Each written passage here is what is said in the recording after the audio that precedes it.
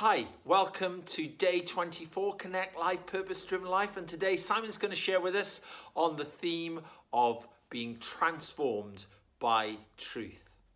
Hi, everyone, and welcome to day 24 of our Purpose Driven Life books. I hope you are really enjoying reading through it and are being encouraged and challenged as you read through it daily. Today, I will be talking about being transformed by truth. Before I became a Christian, I was a completely different person, but when I encountered Jesus, I changed.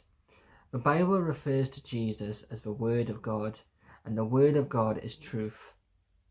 Knowing the truth is so important, but being changed by the truth is even more important. But we need to know the truth to be changed by it. If you were to plant a seed, nothing would change in the seed until it has soil water, and light. Once it has these, these three important needs, it would begin to grow and transform into whatever flower, tree, or fruit it produces. In the same way, with us as Christians, we want to become like Jesus, and we can only become like him through reading the Bible and studying how he lived his life. The Bible is our solid food that we need to grow.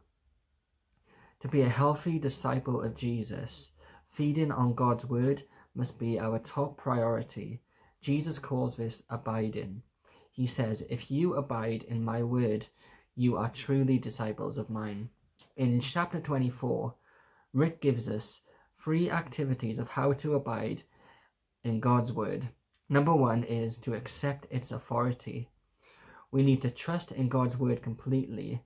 This means when we need wisdom or have decisions to make or advice we might need or on something, we should not turn to the wrong places, but always turn to God's word and allow God to speak to us through it.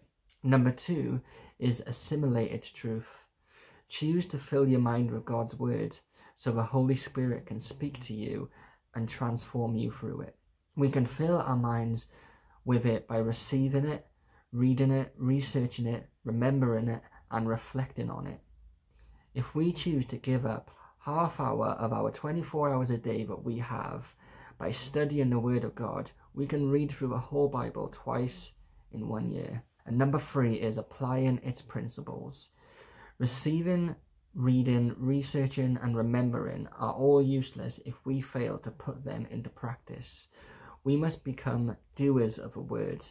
Maybe after reading God's Word, Make a daily small action plan and ask yourself, what has God told me today in His Word that I haven't started doing yet? I hope that during this lockdown, that not only as a church but as individual individuals, we have started to focus on God's Word and to grow in our relationships with God as well. I'm just going to pray. Lord, Thank you that your word has a power to completely change and transform lives. I pray that you would encourage us to focus more on your word and to start applying it in our lives. In Jesus' name, amen. Thank you, Simon, for sharing with us. If you're watching this on Tuesday, then don't forget this evening at 7.30, Connect Life are going to be connecting together for a prayer meeting here on Facebook, and you are very welcome to join us. God bless you. Have a great day.